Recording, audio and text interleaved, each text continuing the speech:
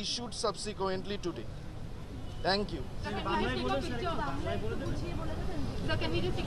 ছ মেম্বারের medical board honourable সিএমকে আজকে সকালে এক্সামিন করেছেন দুপুরে এবং তার লেফট অ্যাঙ্কেলে প্লাস্টার যেটা করা আছে ডিউ টু বনি ইঞ্জুরি আর হেলথ কন্ডিশন ইজ স্থিতিশীল বাট বা পায়ে প্রচণ্ড ব্যথা আছে এবং তার সাথে ফ্রন্টাল হেডেক ব্লাড রিপোর্ট যা সকাল, সমস্ত ব্লাড পরীক্ষার রিপোর্ট আমাদের এসে গেছে।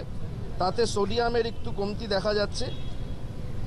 এবং বোর্ড আজকে দুপুরবেলা দেখে আরও কিছু রেডিওলজিক্যাল ইনভেস্টিগেশন প্রেসক্রাইব করেছে including X ray CT scan এবং আপাতত কালকে যা লাইনে ট্রিটমেন্ট চলছিল, সেই ট্রিটমেন্টই চলবে। তার সাথে সোডিয়ামের ভর্তির যেটা, সেটার কারেকশন এবং বিকেলবেলা আবার medical board total condition review করবে এবং তারপরে আপনারা নেক্সট মেডিকেল বুলেটিন পাবেন।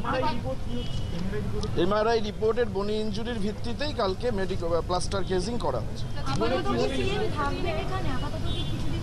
সেটা বলা মুশকিল বিকজ আজকে বিকেলে বাকি ইনভেস্টিগেশন হয় medical board time to time review করে যে পরিস্থিতি দাঁড়াবে আপনারা সবসময় আপডেট পাবেন। এবং তা- এবং তার জন্যই সেটা আমার বলা আছে যে পোস্ট ট্রমাটিক যে সিমটমগুলো হয়েছিল তার জন্যই বাকি ইনভেস্টিগেশনসগুলো আরও হবে আজ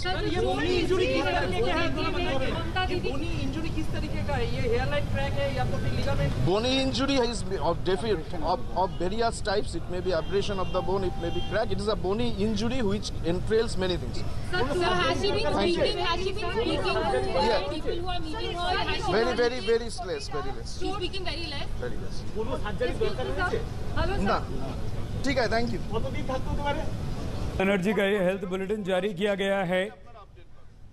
एस के एम अस्पताल के डॉक्टर्स ने ममता बनर्जी की सेहत की जानकारी दी है और ये कहा है कि हम समय समय पर मेडिकल बुलेटिन जारी करते रहेंगे। आपको ममता बनर्जी की तबीयत के बारे में बताते रहेंगे। ममता बनर्जी की फ़िलहाल स्थिति स्थिर है। ममता बनर्जी ठीक हैं। हाँ उन्हें थोड़ी बहुत चोटें आई हैं। प्लास्टर उनके पैर में किया गया है। उन्हें गर्दन पर हल्की सी चोट आई है। उनके सीने में दर्द की शिकायत है। मेडिकल बोर्ड पूरी तरह से निगरानी कर रहा है। और फ़िलहाल अगर ओवरऑल उनकी हेल्थ की बात की जाए, ममता बनर्जी की सेहत की बात की जाए तो वो स्थिर है। यानी कि तबीयत ठीक है। इंद्रजीत कुंडू, हमारे संवाददाता वही कोलकाता में अस्पताल के बाहर मौजूद थे। इंद्रजीत, हम चाहेंगे कि आप हमारे आज तक के दर्शकों को बताएँ डॉक्टर्स ने जो मेडिकल जारी बुलेटिन जारी किया है एक एक बात कैसी तबीयत है ममता बनर्जी की? इंद्रजीत। जी हाँ सईद आज मेडिकल बुलेटिन कुछ देर पहले जारी की गई है। डॉक्टरों ने ये कहा है कि छह सदस्य का एक डॉक्टर बोर्ड उन्हें लगातार निगरानी में रखे हुए हैं और प्राइमरी इन्वेस्टिगेशन जो अभी मेडिकल इन्वेस्टिगेशन से ये पता चल रहा है कि उनके बाएँ पैर में चोट है एक बोनी इंजरी है मेडिकल टर्म में कहा जा रहा है। और ब्लड टेस्ट कंडक्ट किया गया है उन पर। एक सीरीज़ ऑफ़ ब्लड टेस्ट हुआ है, जिससे ये पता चल रहा है कि उनकी सोडियम लेवल कम हो गया है। दरअसल डॉक्टरों का ये कहना है कि इंसिडेंट होने के बाद वो पोस्ट ट्रॉमेटिक स्ट्रेस में है और इसीलिए उनको स्टेबलाइज करना ज़रूरी है। कुछ रेडियोलॉजिकल इंटरवेंशन की बात की गई। कल एक्सरे और एमआरआई हुआ था और उस एमआरआई से ही पता चल रहा है। डॉक्टरों ने ये कहा कि उनके बाएँ पैर में चोट लगी है और यही कारण है कि वहाँ पे प्लास्टर किया गया है और बाकी इन्वेस्टिगेशन आज भी चलेंगे। उसके बाद फिर से दोपहर शाम को एक मेडिकल बुलेटिन जारी कर दिया जाएगा। लेकिन सबसे बड़ी खबर इस वक्त ये है कि मुख्यमंत्री ममता बनर्जी का स्थिति जो है वो मेडिकली स्टेबल है मतलब स्थिर है।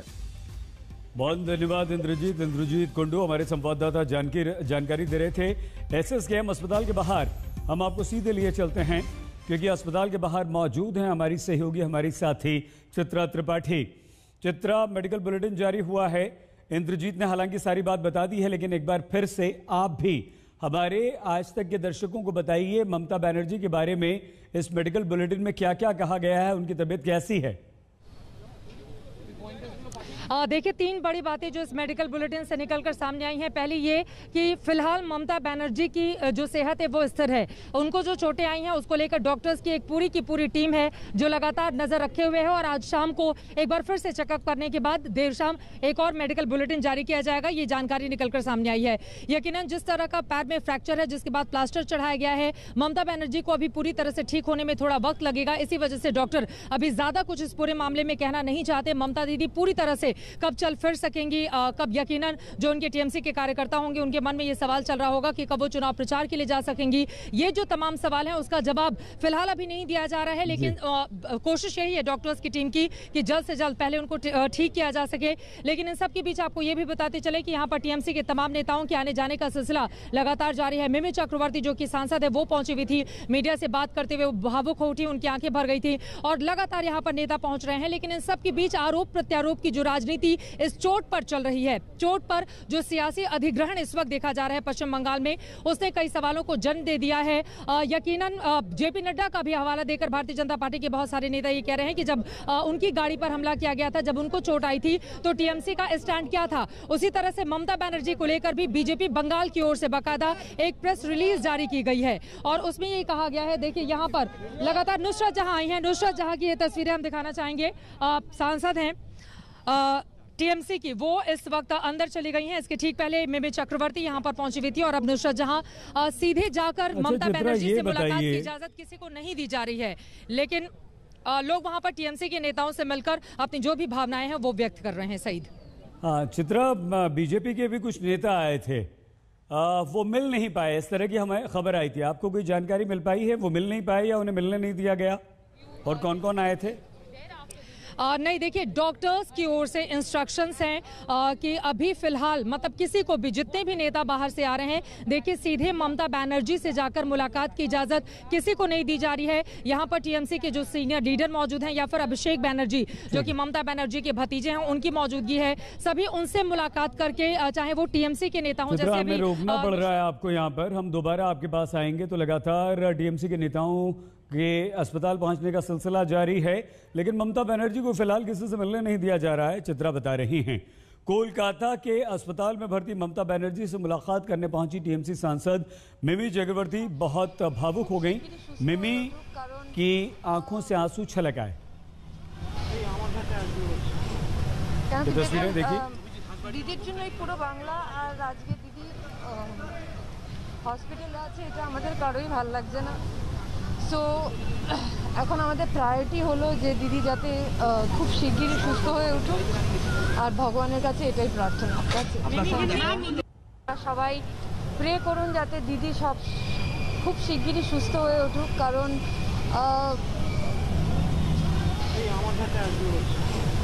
কেন কি দেখুন দিদির জন্য এই পুরো বাংলা আর আজকে দিদি হসপিটালে আছে এটা আমাদের কারোই ভালো লাগছে না।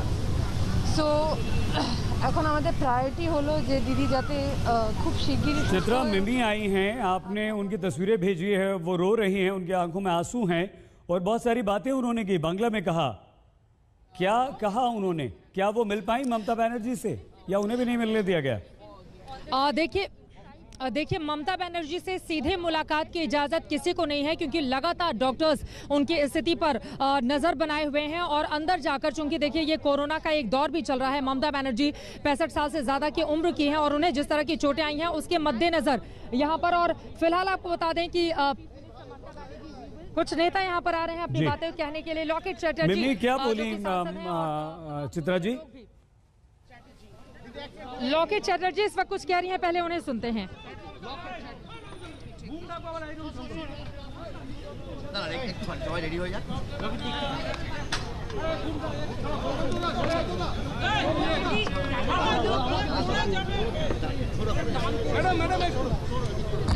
कर सकती हैं चित्रा आप।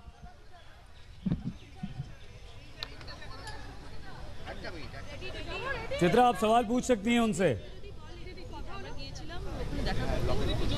দেখা করতে গিয়েছিলাম। ডক্টর এখন মানা করেছেন দেখা করতে। আমাদের ওনাদের পক্ষ থেকে রাজ্যসভার সদস্য ডেরেক ওব্রায়নজি উনি কথা বলছিলেন আমাদের সাথে এবং বললেন যে এখন বনে ফ্র্যাকচার আছে এবং এক সপ্তাহ মতন তো মিনিমাম বেড রেস্টে থাকতে হবে এবং আদারওয়াইজ আমরা জিজ্ঞেস করেছি মাথায় ফ্র্যাকচার হয়েছে কি না তো বললেন এমআরআই হয়েছিল এবং মাথায় কোনো ফ্র্যাকচার নেই বললেন উনি ডক্টরের যেরকমভাবে বলেছেন। পায়ে লেগেছে প্লাস্টার করা আছে পাটা, আর এখন দেখা করা অবশ্যই যাবে না। তো আমরা চাই যে দ্রুত সুস্থ হয়ে উঠুক এবং কালকে যেভাবে উনি যেটা দেখছিলাম মিডিয়াতেও দেখেছিলাম, মুখ থুবড়ে পড়ে গেছেন।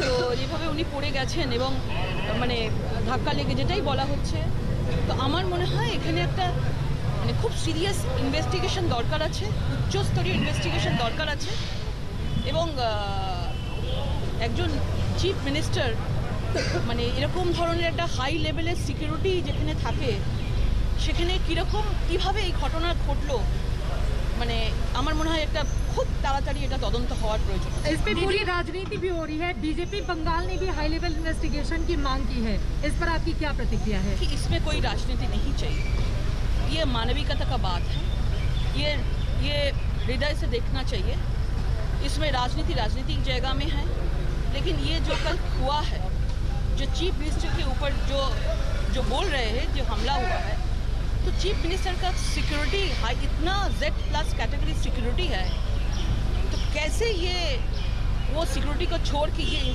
ये जो आक्रमण हुआ है कैसे हुआ है इसका इसके लिए हम लोग हाई लेवल का इन्वेस्टिगेशन चाहते हैं। आपकी मुलाकात हुई है ममता दीदी से अभी अंदर? सर मुलाकात नहीं हुआ राज्यसभा से डेरेक ओब्रायन जी से मेरा बात हुआ। उन्होंने बोला कि एक हफ़्ता के लिए उनको तो अभी तो रेस्ट लेना ज़रूरी है। पैर में प्लास्टर है और हेड में इंजरी अभी नहीं है बोला। क्योंकि एमआरआई हुआ उसका रिपोर्ट अभी ठीक है। ऐसा ही बोला है उन्होंने।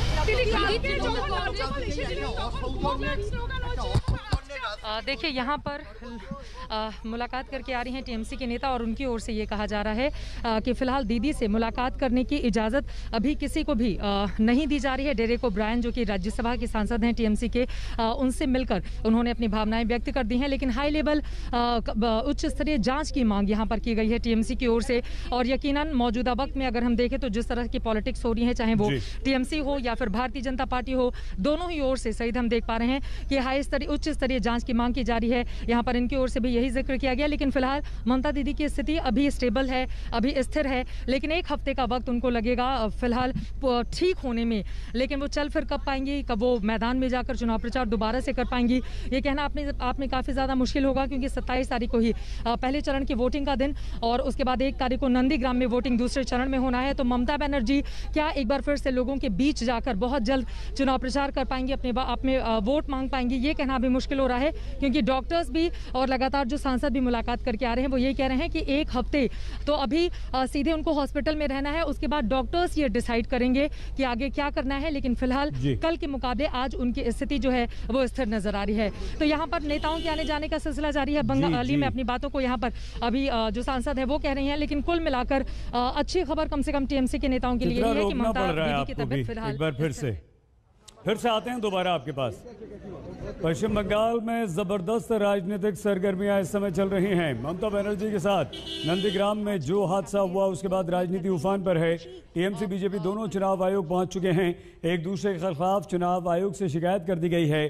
तो नंदीग्राम में बवाल थमने का नाम नहीं ले रहा, बीजेपी समर्थकों ने प्रदर्शन किया है।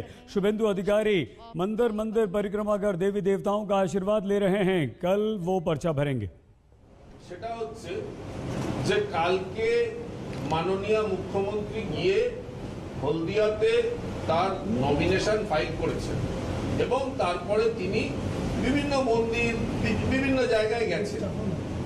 আপনাদের মিডিয়া ন্যাশনালি আমি নাম বলছি না, আপনারা অনেকেই দেখেছেন, কোনো একজন নন্দীগ্রামবাসী বলছে যে ওনার সামনে কোনো মানুষ পৌঁছয়নি, ওনার সামনে কোনো লোক যায়নি, উনি দরজাটা খুলে গাড়ির সবাইকে নমস্কার করতে করতে যাচ্ছিলেন। যখন নমস্কার করতে করতে যাচ্ছিলেন, কোনো খাম্বা মানে কোনো ইয়েতে অ্যাঙ্গেলে আমি এটা বলছি, এটা আমার নয়, এটা আমাদের পার্টির কথা। দুই, কয়েকটা প্রশ্ন উঠে আসছে। সেটা হচ্ছে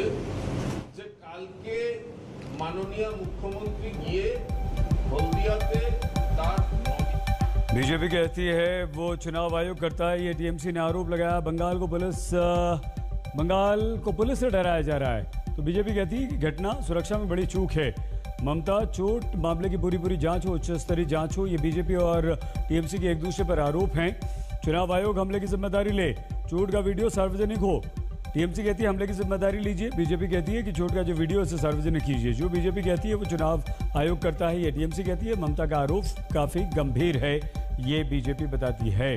तो अब टीएमसी और बीजेपी एक दूसरे पर लगातार आरोप प्रत्यारोप कर रहे हैं। दोनों इस मामले पर एक दूसरे को घेर रहे हैं।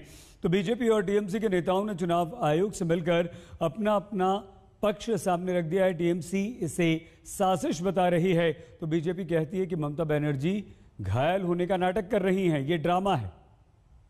समझ लीजिए। आठ तारीख में, मार्च आठ तारीख बीजेपी के बंगाल के अध्यक्ष ने एक पोस्ट किया था।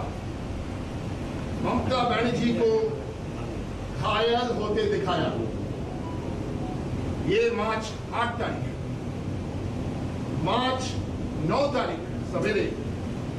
इलेक्शन कमीशन ने वेस्ट बंगाल के डीजीपी बदला। क्रोनोलॉजी समझ लीजिए।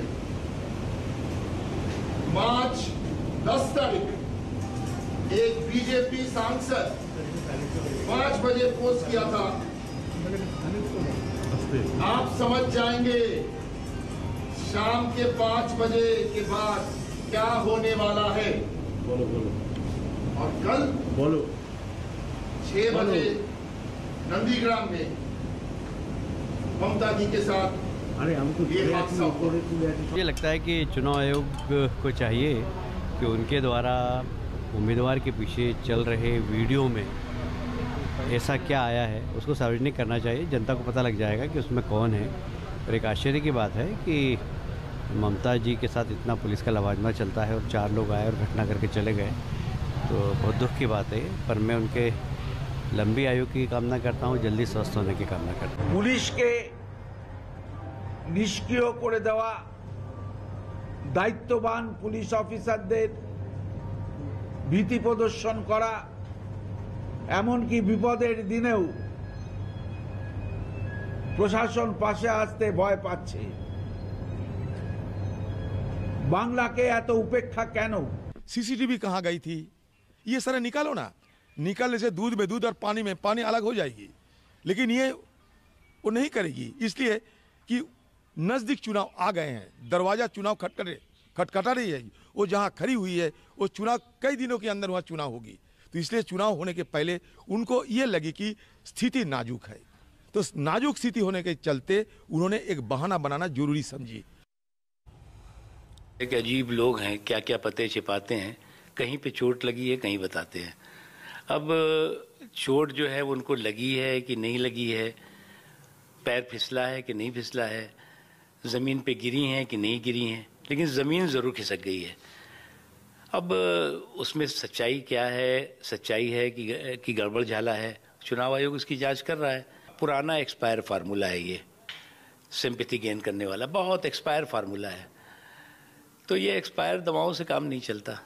हमला हुआ होता तो ये सब प्रश्न होते ना।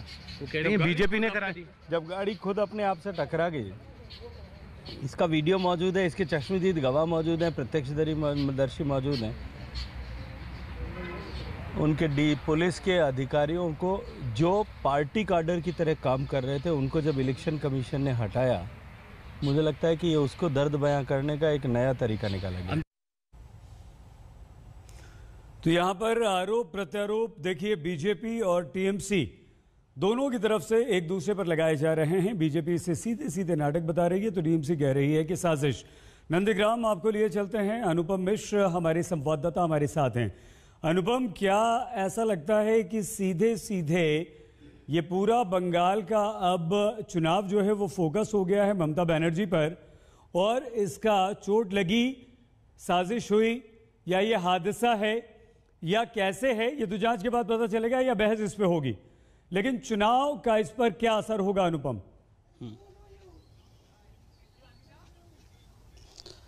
जी देखिए अभी जो स्थिति है बंगाल में, ये पूरी की पूरी राजनीति अब इस घटना के ऊपर केंद्रित हो गई है और हर पार्टी इस घटना के इर्द गिर्द जो राजनीति बुनी गई है, उससे फ़ायदा उठाने की कोशिश कर रही है। चाहे वो टीएमसी हो, बीजेपी हो, कांग्रेस हो।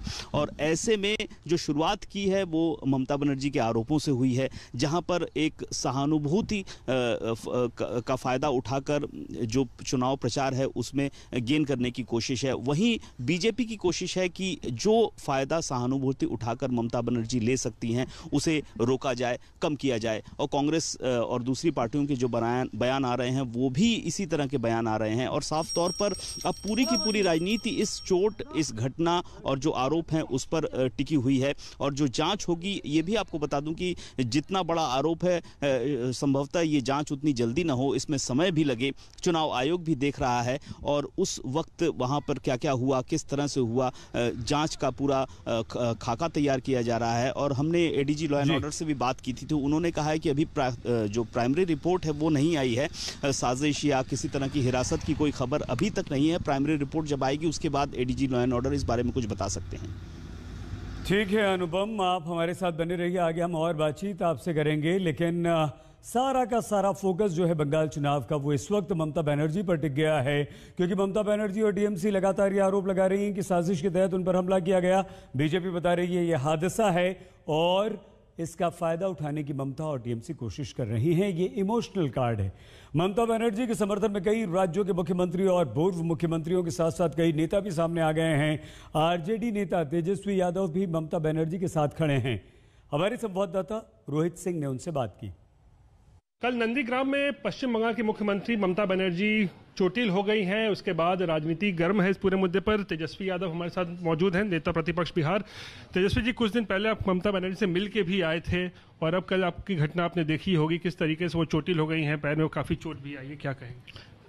देखिए, इस घटना की कितनी भी निंदा की जाए, वो कम है और ये बहुत ही गंभीर मसला है और लोकतंत्र में हिंसा के लिए कोई जगह नहीं होता है। अब टीएमसी जो है, अब शिकायत लेकर के इलेक्शन कमीशन गई है तो इलेक्शन कमीशन क्या होता है, ये हम लोगों को इंतज़ार करना चाहिए। लेकिन ये बहुत ही गंभीर मसला है और एक मुख्यमंत्री पर अगर ऐसा हमला हुआ है तो ये भाजपा पे अगर आरोप लगे हैं तो भाजपा पे का तो ये रहा है इतिहास की चुनाव जीतने के लिए वो कोई भी हटकंडे जो हैं, वो अपना सकते हैं। लगातार वो लोग करते रहे आपको लगता है इसके पीछे भाजपा का हाथ है? हो सकता है। किया होगा उन्होंने। चुनाव जीतने के लिए बीजेपी कहीं भी किसी भी हद तक वो जा सकती है। लेकिन बीजेपी वाले तो कह रहे हैं कि एक तरीके से स्टंट है। ममता बनर्जी ने खुद ही कुछ ऐसा किया होगा। सिंपथी लेने के लिए मतलब अपने ऊपर हमला करवाया गया इस तरीके की बातें आ रही हैं। देखिए बीजेपी अपनी बात जो भी करती रहे उनके पास जस्टिफाई करने के लिए है क्या? कुछ कह ही नहीं सकते। गंभीर चोट आया है।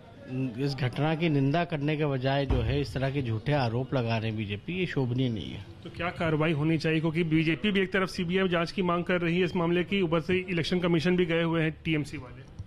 ना तो अब इलेक्शन कमीशन पे है अब मसला। अब देखते हैं कि क्या होता है। उसीलिए इंतज़ार कर रहे हैं लेकिन इसमें जो है हमारा फिर से ये कहना होगा कि लोकतंत्र में हिंसा के लिए कोई जगह नहीं है। आपको लगता है ममता बनर्जी की जो तस्वीर हम देख रहे हैं हॉस्पिटल में इससे फ़ायदा होगा उनको? एक सिंपत्ति भी मिलेगा उनको चुनाव में कुछ? नहीं देखिए ये फ़ायदा सिंपत्ति की बात नहीं है। ममता जी ऑलरेडी चुनाव जीत रही थी। इसी बौखलाहट में जो है ये बीजेपी ने जो किया होगा किया है चुनाव जीतने के लिए या कोई भी हटकंडे अपना सकती है किसी भी पैमाने पे बीजेपी के लोग जा सकते टीएमसी जीतेगी आपको लगता है चुनाव? अभी एकदम एकदम एकदम। तेजस्वी बीजेपी पर आरोप लगा रहे ममता के साथ हैं उधर उत्तर प्रदेश के पूर्व मुख्यमंत्री अखिलेश ने भी इस घटना की निंदा की। देखते रहिए आज तक।